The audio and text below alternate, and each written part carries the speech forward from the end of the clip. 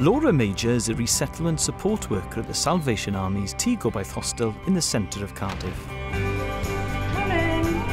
Tŷ Gobaith in English means Hope House, which says says it on the tin really.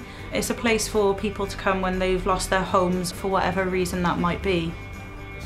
We have people who have lost their jobs, therefore have lost their homes, people with substance misuse who come here for further support and people who have had relationship breakdowns and have been asked to leave.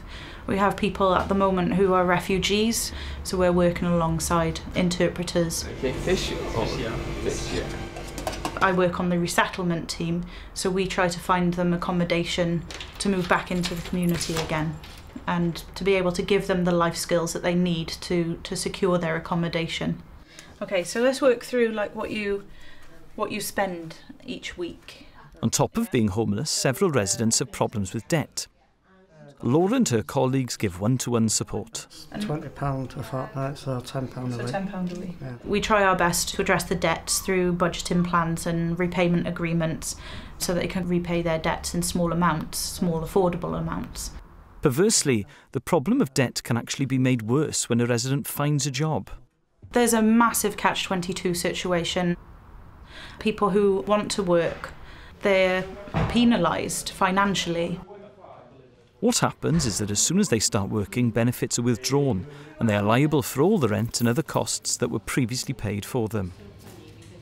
For a lot of people, their wages can't cover that amount. It causes a lot of stress, and some people suffer with mental health issues after the whole process um, is done. They feel very depressed because there's something in the way preventing them for, from leading a normal life. Another issue that Laura and her team face is simply finding suitable accommodation for people.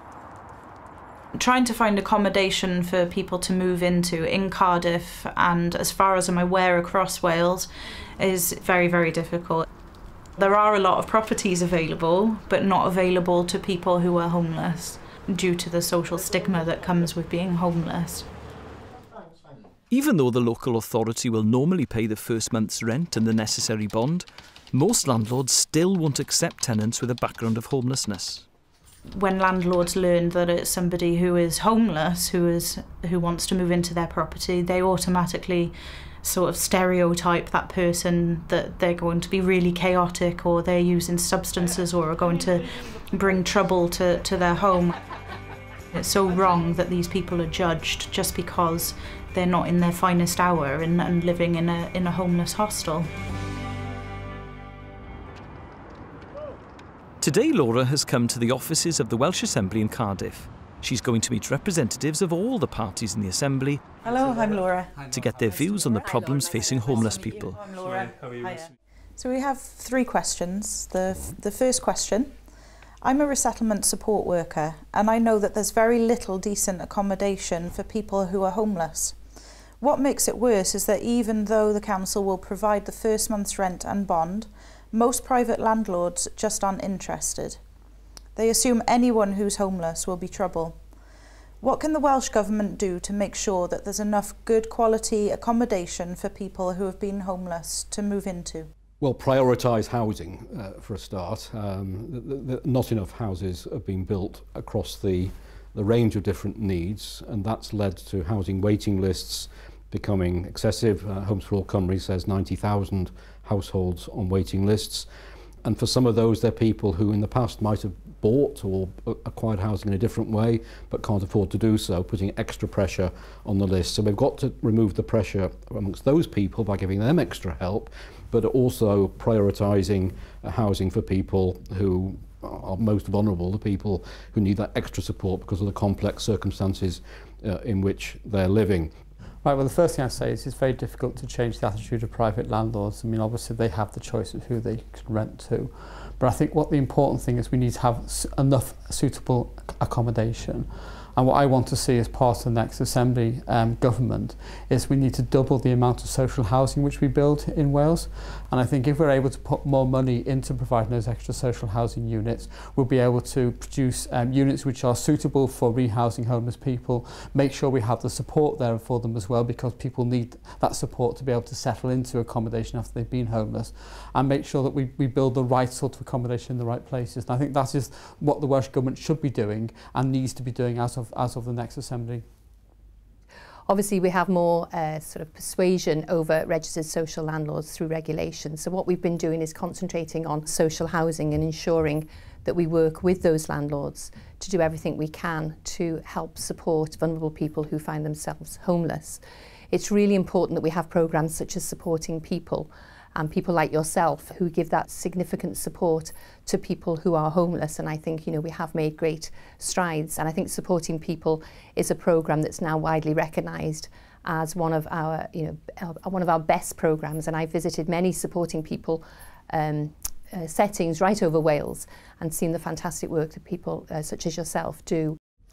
Well, I think the first thing clearly to say is that we need more social housing in Wales and Plaid Cymru is committed to delivering more social housing. It's a key part uh, of the housing landscape and it certainly uh, has a key role to play in this particular context. But of course the private rented sector as well is very important and I think we have to adopt a carrot and stick uh, approach. I think it is important, for example, that uh, landlords can receive housing benefit direct. Uh, that reassures many of them. Uh, but at the same time, of course, we have to make sure that we tackle uh, longer term uh, issues. We need to break the cycle of homelessness and not maybe look at shorter term measures, which I think has been uh, the approach so far. Thank you. Question two. Changes to the welfare benefit system mean that people experiencing homelessness are more often getting into debt. Increasingly, both social and private landlords won't take on tenants with a history of debt. How can the Welsh Government work with landlords to help them see past a prospective tenant's debt? Right, I, th I think we need to give assurance to landlords, both private and social, mm-hmm. that the tenant is going to be able to manage the, the commitment they take on when they take on a tenancy. And it seems to me that the best way of doing that is to make better use of credit unions. And I think if we were able to say to landlords, um, particularly social landlords, that this tenant has now got is now having all their benefits paid into this credit union account, and they will pay out um, certain commitments um, from that on their behalf before allowing them access to the rest of it. That may give the assurance that landlords need that despite the fact they may have 10,000 or so debt from a previous tenancy, that they're able to manage not only their current rent, but also some sort of repayment on that debt. One of the, the areas where we've had a sort of concentrated effort, certainly since I came into portfolio, is around advice services, because I think if you can work with people in the first place to prevent the homelessness and help them with debt advice and financial advice, that could then, you know, stop that person becoming homeless. So it's really important that we give good quality advice to people who, who seek it. So we've had, uh, I think we put over 2.2 million pounds extra into advice services. I'm ensuring there's a framework to make sure that the advice that people get is of a good quality right across Wales. I don't want to see any postcode lottery around advice services. The way to achieve this is by Welsh Government not doing what they did, which was scrap the independent advice they were supporting and bring it effectively in-house as a government body. And we all know people in crisis are least likely to tr trust government um, and once again uh, develop a proper accessible network of support for people being delivered with third sector bodies um, which not only deal with the crisis that the person's in, such as the threat of repossession or, or bailiffs, but then the longer term interventions they need um, to better uh, manage their own lives. Well, I think it's fair to say that changes to the welfare system have been a disaster for many people here uh, in Wales and they're changes that we as a party wouldn't have adopted. But certainly within Wales, I think uh, we could adopt some approaches such as a clear no evictions policy for uh, victims of, of uh, bedroom tax, Uh, and again, you know, I'd re-emphasise re, uh, the need for more social housing in Wales. So there are elements that we can uh, adopt. And I think uh, a financial inclusion strategy is important uh, and making sure that young people particularly have the financial skills that they need uh, to avoid getting into debt in the first place, but also to understand maybe the financial landscape a bit better uh, so that if, if they do find themselves uh, in difficult circumstances, that they're better informed uh, as to ways of maybe getting some support that they need. Thank you. And question three. At T where I work, we're coming across this catch-22 situation. When people who are currently staying at the hostel find a job, but still need the support we can provide, the trouble is, as soon as they start working, they lose benefits and have to mm. pay for everything themselves, and often find themselves worse off. How can the Welsh Government help alleviate this situation? This is a more difficult question because, of course, the Welsh Government doesn't have any control over benefits.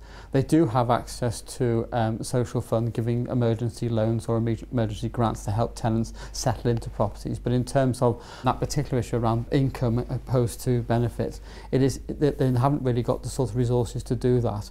I think we need to maybe look at some emergency loans to help people get by, finding ways of, of using what may give maximum maximise their benefits and tax credits while they're still available uh, and basically just try to fund proper advice and support for people who are moving from uh, unemployment into employment. What we can do is continue to provide schemes uh, such as LIFT and Jobs Growth Wales and apprenticeships where we can help people uh, into employment whilst supporting them and through through programs such as supporting people um, as well. I think one thing we can do as a government is try and uh, persuade and influence uh, both private and public sector organisations and companies to ensure that employers receive the living wage certainly in previous portfolios, I've done all I can to encourage local authorities to pay the living wage. We can't, we can't make them, but I think we can certainly do all we can to help influence that. It isn't right that people lose benefits immediately and then, as you say, they find themselves uh, worse off. We have to take a, a longer term uh, approach. Again, we need more social housing. That's clearly one uh, aspect of our uh, policy. But in terms of uh, homeless hostels as well, they should be funded on a longer term basis, not be too dependent on housing benefit. And having them there, knowing that they have that funding security, gives you more flexibility within the system. You can be a bit more clever in the way that you use that provision. Uh, so I think that also has a, an important role to play. Firstly, it's ensuring we continue to protect support for schemes such as supporting uh, people, which is key to organisations like Gobaith. But beyond that, working with uh, UK government um, on these matters. The work programme, uh, which operates throughout Wales, UK government scheme, um, is intended to reach people who are furthest from the workplace with the most complex uh, barriers um, to enable them to work, not only have the self-belief and the skills to work, but be able to afford to work. Thank you very much. Thank you. Thank you.